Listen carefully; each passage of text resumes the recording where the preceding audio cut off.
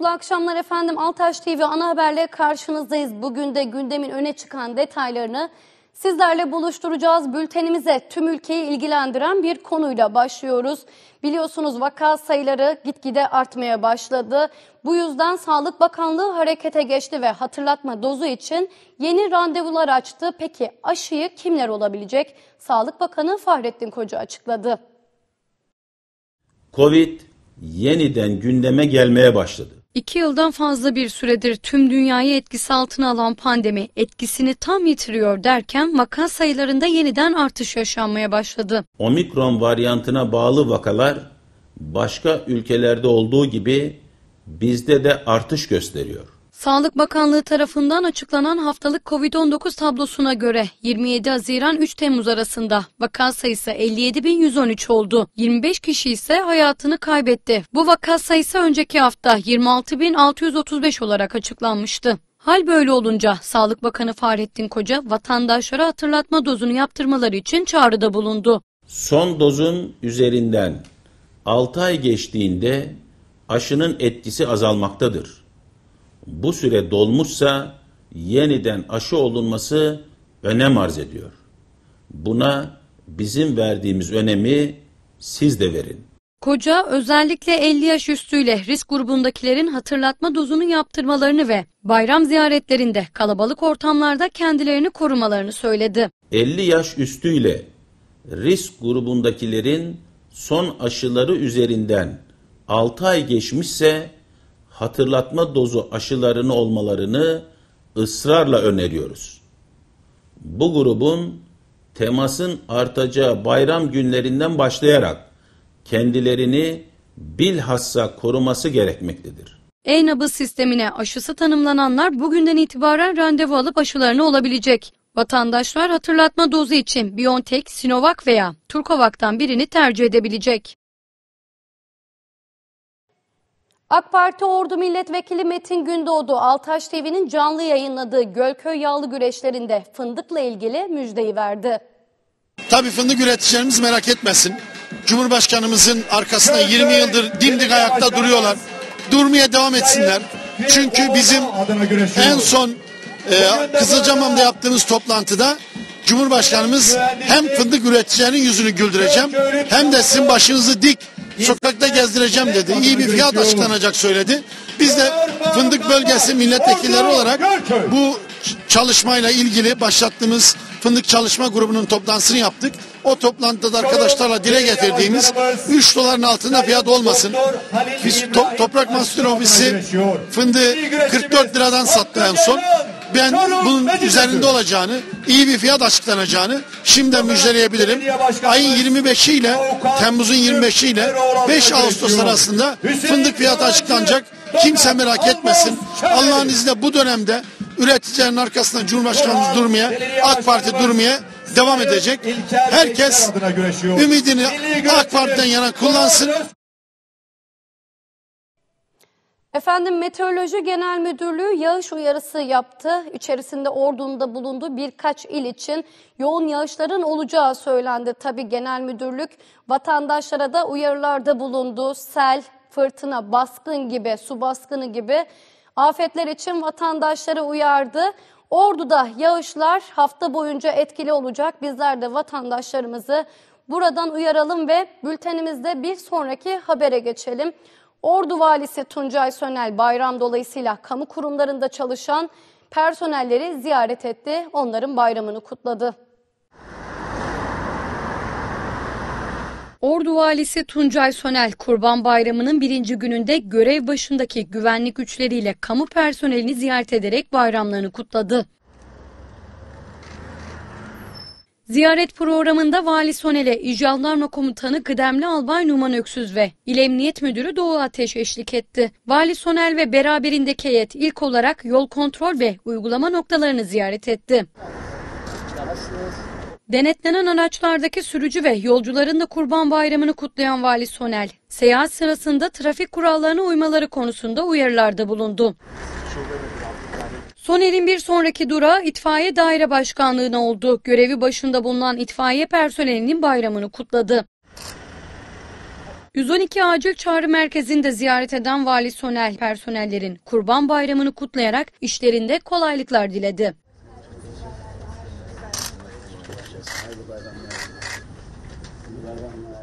Vali Sonel Kurban Bayramı ziyareti programı kapsamında İl Emniyet Müdürlüğü ve İl Jandarma Komutanlığı'na da bir ziyaret gerçekleştirdi.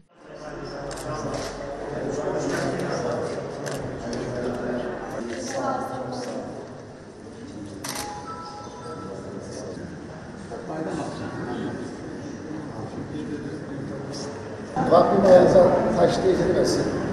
Çok önemli ve güzel işler yapıyorsunuz ülkemiz için, memleketimiz için. Polisimiz, jandarmamız, askerimiz, saygılarımız. Allah razı olsun hepinizden. Yolunuz, bahtınız, nasibiniz açık olsun. Jandarma Mehmet Aydın Batman.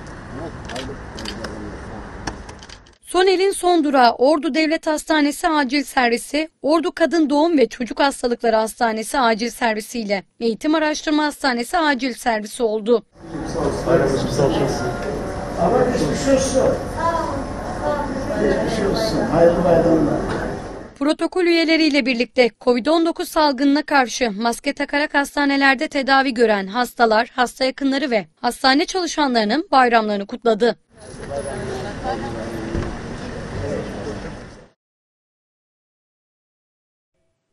Efendim kasapların da artık bayram mesaisi başladı. Etlerini alan vatandaşlar kasapların yollarını tuttu. Kasapların önünde ise uzun kuyruklar oluştu.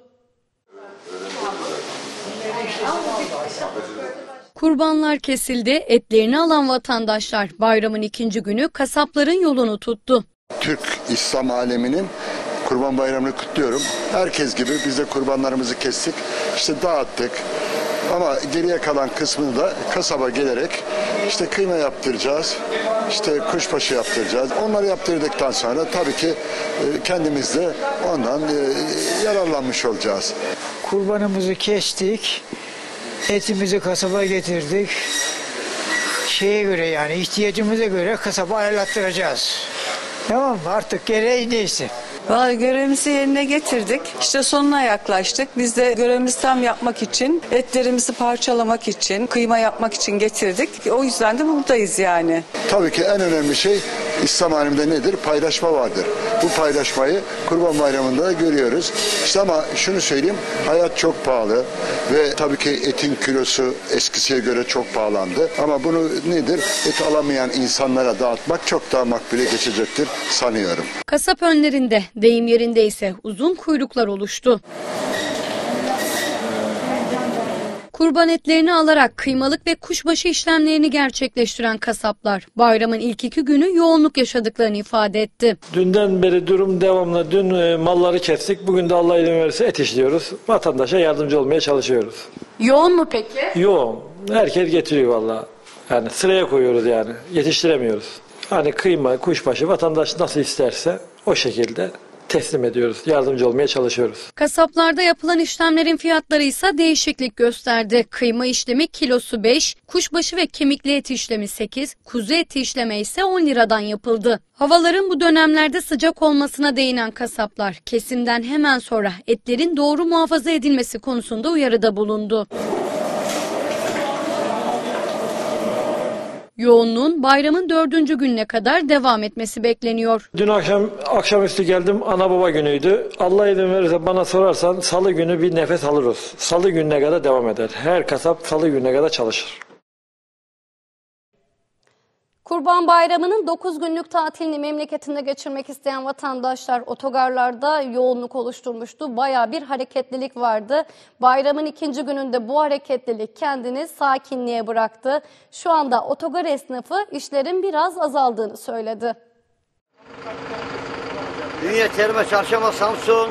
Kurban Bayramı'nın 9 günlük tatilini memleketinde geçirmek isteyen vatandaşlar günler öncesinden otogarlara akın etmiş, otogarlarda bayram hareketliliği yaşanmıştı. Bayramın ikinci günü bu hareketlilik yerini sakinliğe bıraktı. Peki vatandaşlar dönüş biletlerini almaya başladı mı? Şu an öyle bir şey yok. Daha erken yani. Ne olur? Haftaya Perşembe'den başlar yoğunluk gitmeye. Yani bizim işimiz de yoğun olur o zaman. Ama şu an dün mesela biz gittik geldik zarar. Yani bugün gidiyoruz arabada bir kişi var. Hareket yok şu an. Ama olur yani. Ya bu iki üç gün sonra başlar Allah izin verirse. Otogar esnafı Ramazan bayramına nazaran bu bayramda gidiş gelişlerin azaldığını söyledi.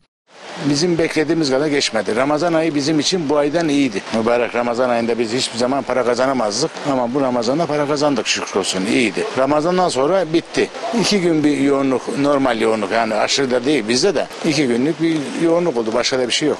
Bu iki günlük bayramda işlerin oldukça azaldığını söyleyen esnaf umudunu fındık hasadına bıraktı. Fındık sezonuna dair tabii ki beklentimiz var. Yani gelişler gidişleri olacak. Bizim için de iyi oluyor. Gurbetten gelecekler. Mesela amele gelecek sağdan soldan. Bunlar hep parayla olan şeyler. Her taraf için bir gelir kaynağı fındık. İnşallah iyi olur. Onu düşünüyoruz. Ünye'de gelenekselleşen kent bayramlaşması gerçekleştirildi. Programa ise katılım oldukça yoğun oldu. Ünye'de her yıl Ünye Kaymakamlığı ve Ünye Belediyesi tarafından organize edilen ve geleneksel hale gelen kent bayramlaşması bu yılda devam etti. Ünye Belediyesi Atatürk Parkı sosyal tesislerinde gerçekleştirilen programa Ünye Kaymakamı Ayhan Işık, Ünye Belediye Başkanı Hüseyin Tavlı, protokol üyeleri, siyasi parti ilçe başkanları ve temsilcileri, sivil toplum kuruluşlarının temsilcileri, daire amirleri, basın mensupları ve davetliler katıldı. Programda Başkan Tavlı ve Kaymakam Işık katılımcılara seslendi. Yüz yüze olan bayramların tadı hiçbir yerde yok. Bunu ilk Ramazan ayında yaşamıştık. Gene birlik ve beraberlik, kardeşlik ruhu içerisinde şükürler olsun ki Kurban Bayramı'na da eriştik, eda ettik ve eda etmeye de devam ediyoruz. Cenab-ı Allah birlik ve beraberlik, kardeşlik içerisinde nice bayramlara erişmeyi hep birlikte nasip etsin diyorum. Bu coğrafyada bugün ilçemizde huzur içinde bu bayramı eda edebiliyorsak ve bu memlekette huzur içinde yaşayabiliyorsak ve bu güzellikleri bize yaşatan aziz şehitlerimizi rahmet ve minnetle anıyorum. Gene aynı şekilde çok kıymetli gazilerimize de onlara sağlıklı ve hayırlı ömürler diliyorum. Geçen bayramda birlikte olup da bu bayrama erişemediğimiz değerli kardeşlerimiz, hemşerilerimize Allah'tan rahmet diliyorum. Ve diliyorum ki aynı şekilde bu güzellikleri, birliktelikleri yaşadığımız nice bayramlara Mevlam hep birlikte tekrar eriştirsin diyorum. Dostluğun, kardeşliğin, paylaşmanın, birlik ve beraberliğinin sevincine ulaştığımız bir günü daha birlikte idrak etmenin mutluluğu içerisindeyiz. Ben hepinizin bayramını tebrik ediyorum. Allah tekrarını nasip etsin diyorum. Hepinizi sevgiyle, saygıyla selamlıyorum. Konuşmaların ardından programa katılan davetliler bayramlaşma merasimini gerçekleştirdi. Program Ünye İlçe Müftüsü Hüseyin Okuş'un yaptığı duayla sona erdi. Mesudiye ilçesinde kaymakamlık ve belediye işbirliğiyle bayramlaşma merasimi düzenlendi. Pek çok vatandaş da bu bayramlaşmaya katılım gösterdi.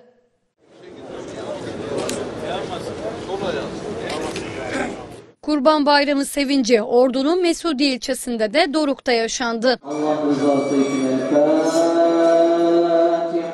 Mesudiye Kaymakamlığı ve Mesudiye Belediyesi geleneksel bayramlaşma merasimi düzenledi.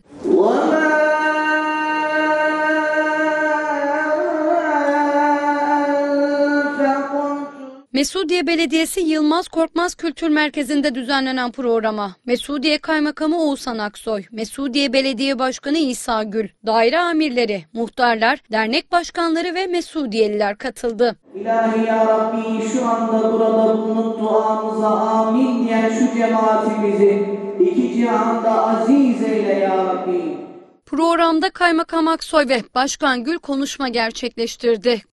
Normalde bizler görev yaptığımız yerlerde, bayramlarda köylüler sarılar birbirini ağırlar. Kurum amirlerle tokalaşma, kendilerimizi çay kahve ikram dağılırdık. Ama burada mesuliyetlerin gerek bayramda, gerek düğünde, gerek şenlikte, gerek cenazede bir araya gelmeleri, burada çalışan bizler için gurur kaynağı ve onur kaynağı. Bu kapsamda size teşekkür etmek istiyorum. Şunu söylemekte fayda var. Tabii Kurban Bayramı, diğer bayramda, Ramazan Bayramı'ndan daha farklı. Biraz bir iş bayramı oluyor. Ona rağmen burada bu kadar kalabalık görmek teşekkür ediyorum tekrardan sizlere. Sevginin, kardeşliğin ve barışın en çok hakim olduğu günler. Yardımlaşmanın en iyi yaşandığı gün Kurban Bayramı'nda bu şekilde kalabalık olmak müthiş duygu. Öncelikle hepinizin Kurban Bayramı tebrik ediyor. Aynı bu şekilde birlik beraberlik içerisinde nice Kurban Bayramları diliyorum. Mesudiye özellikle yatırım anlamında son yıllarda ciddi yatırımlara imza atmaya e, başladık. Tabii ki yol, su, altyapı, Mesut belediyelerimizin görevi özellikle grup yollarımızdaki yol çalışmalarımız devam ediyor. Büyükşehir Belediye Başkanımızla dün görüştük. Kendilerinde selamları var. Onlar da Doktor Mehmet İlmi Güler Bey'in de selamları var. Onlar da bayramınızı tebrik ediyor. İnşallah yakın bir zamanda belki bir hafta gibi kısa bir zamanda Mesudiye'mize kendileri gelecekler. Özellikle çalışma alanlarındaki çalışmaları yerinde inceleyecek ve yapılamayan, yapılmayan işlerimizi de birlikte hep birlikte istişare, istişare etmiş olacağız. Tabii ki özellikle bizim biliyorsunuz 32. kurultayı yaptık. Bu kurultayımızda son yılların en iyi kurultayı olmuş oldu. Genelde demokrasinin öncüsü kurultay. Bununla ilgili çok güzel projeyi hayata geçiriyoruz. Bu da Dünya Demokrasi Forumu 2023 yılında Mesudiye'de yapacağız. Konuşmaların ardından dualar edildi. İlahi ya ondan hasıl olan sevabı, candan Baki Ekşioğlu'nun da ruhlarına hediye eyledik ve asıl eyle. Davetlilerin bayramlaşma merasimiyle program sona erdi.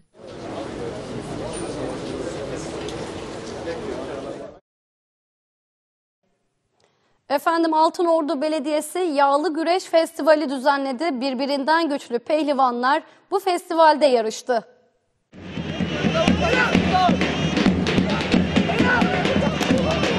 Altınordu Belediyesi Yağlı Güreş Festivali düzenledi. 19 Eylül Stadyumunda düzenlenen güreşlerde ilk olarak küçük, orta ve büyük pehlivanlar güreşti. Ardından birbirinden güçlü baş pehlivanlar stadyuma geldi. Ordulu Altın Kemer sahibi baş pehlivan Recep Kara, bu sene düzenlenen 661. Tarihi Kırkpınar Yağlı güreşlerinde baş pehlivan olan Cengizhan Şimşek gibi altın kemer sahibi baş pehlivanlar festival alanına geldi. Yağlı Güreş Festivali saygı duruşu ve İstiklal Marşı ile başladı.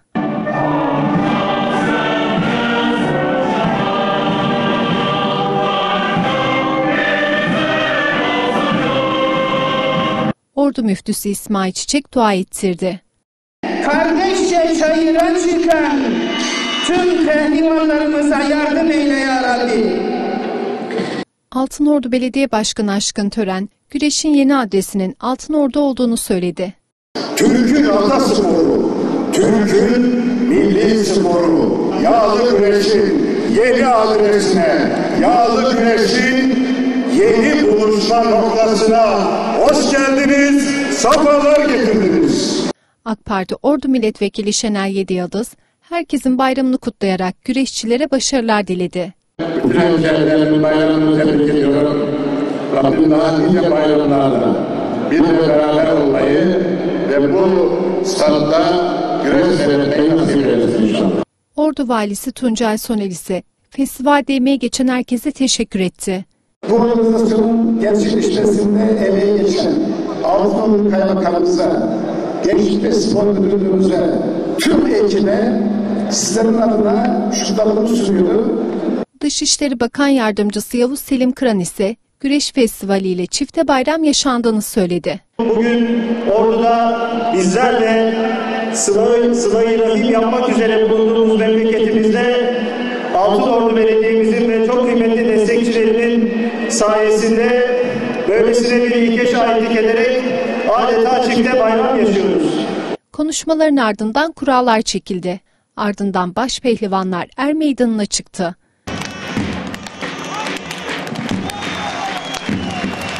Baş pehlivanlar birinci olabilmek için mücadele etti.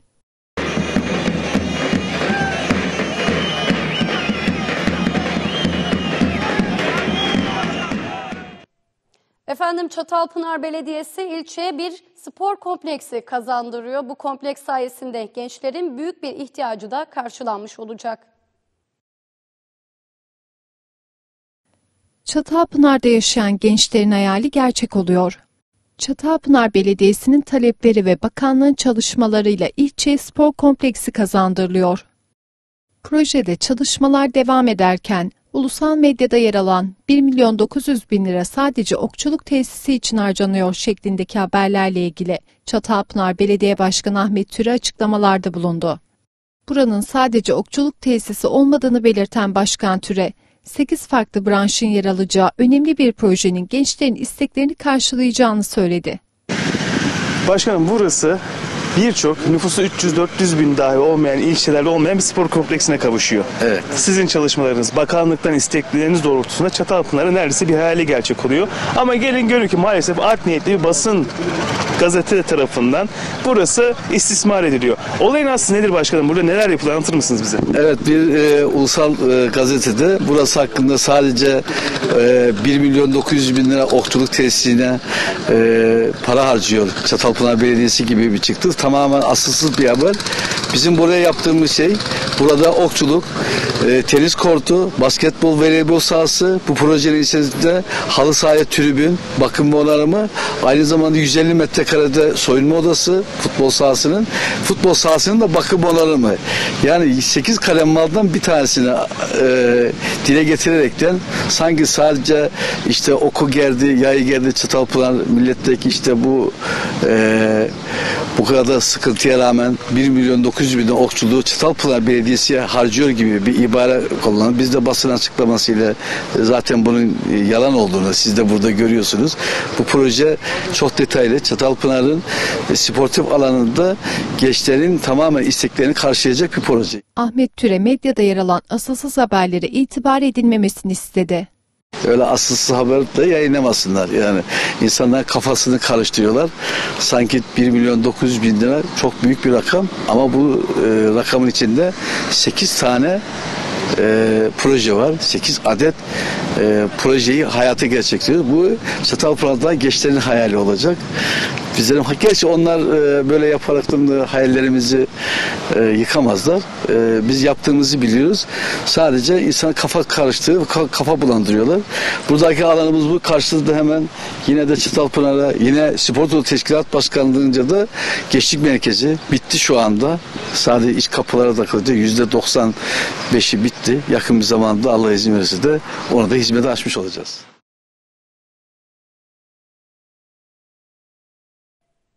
Ordu İl Tarım ve Orman Müdürü Kemal Yılmaz, Ordu'daki atıl arazilerin üretime kazandırıldığını söyledi.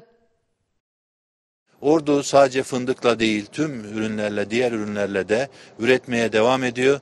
Ordu'da atıl araziler Ordu İl Tarım ve Orman Müdürlüğü'nce üretime kazandırılıyor. Yukarı ilçelerimizde, Mesudiye'de, Akkuş'ta çok ciddi e, atıl arazilerin üretime kazandırılmasına yönelik buğday üretimini, yağ bitkisi üretimini, yem bitkisi üretimini desteklemeye yönelik ciddi çalışmalar var. Konuyla ilgili değerlendirmelerde bulunan Ordu İl Tarım ve Orman Müdürü Kemal Yılmaz, kentte son iki yılda 14 bin dekar atıl araziyi üretime kazandırdıklarını söyledi. Son iki yıl içerisinde 14 bin dekar arazi, atıl arazi üretime kazandırılmış durumda. Atıl arazilerin üretime kazandırılması noktasında çalışmalarının devam edeceğini kaydeden Yılmaz, çalışma sayısının da artacağının altını çizdi. İnşallah e, bu üretimimiz ve e, ürettiğimiz, çalıştığımız konuların sayısı her geçen gün artacak ve çok çok daha iyi yerlere geleceğiz. Efendim Karadeniz'deki doğalgazı taşıyacak borular deniz tabanına yerleştirilmeye başlandı.